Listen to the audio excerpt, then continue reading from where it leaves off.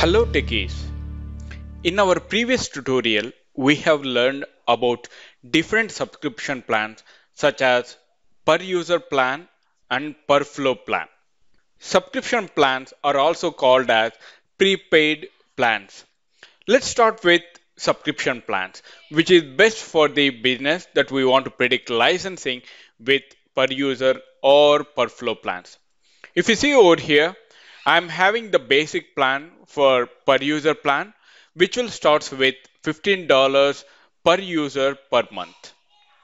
Under this plan, individual user can create and run an unlimited number of flows with full capabilities of Power Automate, including standard connectors, premium connectors, business process flows, custom connectors, on-premises gateways based on the unique needs for monthly fixed cost for each user. Alright, there is another plan we have per user plan with attended RPA. It will cost 40 US dollars per user per month. Under this plan, individual user can get same capabilities as the base user plan plus the ability to automate legacy and modern applications which allows makers to create unlimited flows for API based automation and automate legacy applications with desktop flows through RPA, that is robotic process automation and AI artificial intelligence. This plan includes all Power Automate per user plan capabilities and the ability for users to run an unattended RPA bot on their workstation. Additionally, if you see this plan includes access for the AI builder capability and also we have the supporting scenarios like form processing, object detection, prediction, text classification and recognition. This plan can be purchased for monthly fixed cost for each user that is 40 US dollars per user per month. These two plans are based on the licensing. All right. There is another plan that we have that is Power Automate per flow plan. That is, if you see over here, I'm having per flow plan under $100. With this plan, organizations can implement flows with reserved capacity that serve a team, a department, or an entire organization without having to license each user separately. This plan starts with a fixed monthly cost for five active flows. There are monthly fee for the each additional active flow beyond the five flows that are included in the base fee. Now, what's new in this pay as you go? In mid July 2022, Microsoft released a best flexibility to pay for the business that is pay as you go plans. Pay as you go plans is a new way to pay for Power Apps and Power Automate using an Azure subscription, which allows you to get started building and sharing apps without any license commitment or upfront purchasing. Pay as you go allows you to share Power Automate flows with any user in your organization and then only pay if and when they are used. The pay as you go plan includes Microsoft Dataverse storage capacity and provides the flexibility to pay for additional storage as you need. This plan reduces the overhead of license procurement and lets you manage and split costs across business units by leveraging the cost management reporting capabilities of Azure subscriptions. There you can see I'm having license by flow run. This will comes under 60 cents per flow that will be on pay for each cloud flow per run. So let us assume if you're going to run a Power Automate cloud flow, then for each and every run you have to pay 60 cents. There you can see I'm having cloud flows that is document process automation DPA. And the same 60 cents is uh, applicable for license by flow run that is also for attended mode for the desktop flows. So over here you can see I have to run the desktop flows in that case 60 cents has to be paid for per flow run. All right. Now, if you say I'm having another plan, which is $3, in that case, we have to run the desktop flows for the unattended mode. In that case, you are going to use this you have to pay $3. Alright? These are the new plans which we have under pay as you go plans. Now I will show you how Power Automate meter works. When you choose pay as you go plan, usage of the Power Automate service is built to your Azure subscriptions using Azure meters. The Power Automate enables user to build or run premium Power Automate flows and to pay their usage based on the number of times these flows runs instead of purchasing standalone Power Automate licenses. Let's assume a flow can run in the cloud or on the desktop with a user that is attended or and desktop without interaction that is unattended mode. So if you see over here, if I'm having month month one, in that case, if I'm going to use cloud flows that has to be running on 60 cents and I'm having two flows in that case, 2 into 60 cents that I'm going to pay that is $1.2 for the first month. In the second month, I'm having cloud flow as well as attended flow. In that case, I'm going to charge 60 cents for each one.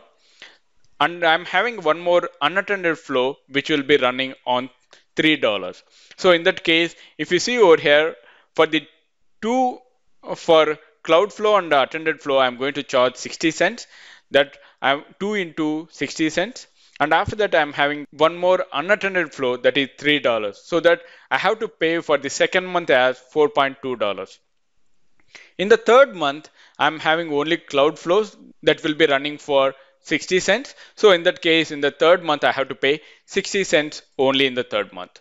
Now if we observe over here I don't need any licenses for this one which I need to pay as a subscription plans all right so whenever i'm going to run these cloud flows i have to pay 60 cents for the cloud and attended flows if i'm going to run attended, unattended flows in that case i'm going to pay three dollars based on the pay as you go plans now you may ask one question right so if i'm going to run and uh, test it for the testing purpose at that time you have to pay it or not to make it easy to test and fix your flows where they are not going to be charged anything. So no charges will be incurred if you are going to test your flow in the designer or resubmitting failed runs. Additionally, if you use child flow features for the cloud flows or attended flows, there will be only single charge for the parent flow run. No charges will be incurred in the child flow runs.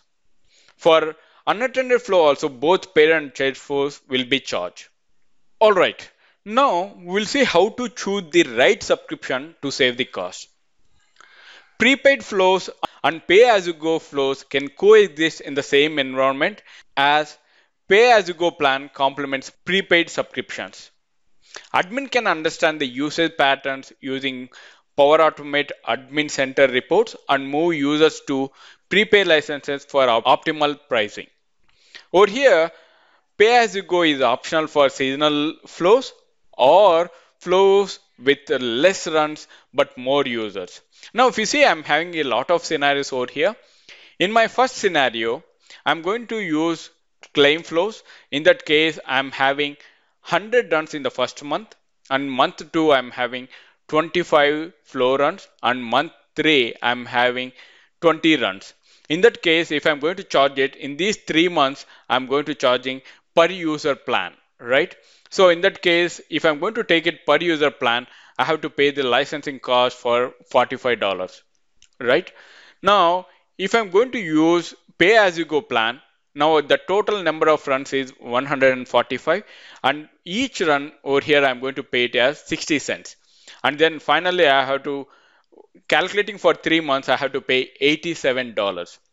In this case, if you observe per user plan that I'm going to get it $45, but if I'm going to calculate based on the runs, then I have to pay $87. In this case, we will recommend to use Power Automate user license. But coming to the second scenario where employee health check, if I'm going to take it, 10 users are running the flow, for an example, employee health check. In that case, I'm having the number of flows are the same. First month, I'm going to 100 runs. Second month, I'm going to take it 25 runs. and third month I'm having 20 runs. In this case, if I'm going to use prepaid licenses, if you calculate three months, 10 users into $15, I will get it as $450. But based on the pay as you go plan, if I'm going to calculate the number of based on the number of runs, I will get 145 runs into 60 cents. I will get $87. If you compare these two things, if I'm having per user plan, right, I have to pay $450. But if you go for pay as you go plan, then you have to pay $87. In this case, we will recommend pay as you go plan. Now, I'm going to give you another one that is customer support right? This is the another third scenario over here where you are going to use attended rps also right? So i'm having the same 10 users. Now i'm going to take 100 runs 25 runs and 20 runs. This is common for all the three months which we have seen. Now if you come to the three months for the 10 users i have to pay 40 into 40 per user because of i'm going to use unattended rpa now the charges will be 40 per user, $40 per user. In that case, the total amount for the attended RPA is $1,200. But if you calculate pay as you go, in that case, I have to pay $87. Now, if you compare these two things, which one is the best? We'll go for the pay as you go as the best recommendation. Right? Now, we'll have another scenario where it will come as the unattended RPA and you are having two concurrent runs. So in that case, one of the best example is supply chain management. There you can see I'm having 100 runs for the first month, second run having second month having 25 runs, third month having 20 flow runs. Now for these three months, I'm having $40 per user with attended RPA plus two bots with the 150 per unattended add-on this will comes at the two concurrent runs so that $150 I have to pay it as a unattended add-on. Right? The total cost will be $1,020 for these three months. Right? Now if I'm going to calculate the same way, 145 into $3 per run, in that case I'm going to get it as 435 US dollars. Then which one is the best? So I'm going to cost cutting. I'm going to reduce the cost of the usage, then in that case, I will go for pay as you go plan. So we are going to recommend pay as you go plan. Right? Now I'm having another scenario where seasonal flows, like an example of HR department, one user is running the flow. Right? If you see in month one, I don't have any runs. Month two also, I don't have any runs. And month three, I have 40 runs. In that case, if I'm going to use per user plan, then I have to pay for these three months, I have to pay $45 per user plan license. But if you go for pay as you go licensing, 40 runs into 60 cents, I have to pay $24 only. In that case, if you observe, even for the seasonal also, we'll recommend pay as you go. All right. Now we have one more scenario where organization flow runs under service account service principal is running, that is employee onboarding. Now, if you see in the first month, I'm having 100 runs, 100 uh, flow runs, another one 25 flow runs in the second month, and 20 flow runs in the month three. Now, if I'm going to calculate these flow runs, so there you can see I have to pay 100 per flows, right?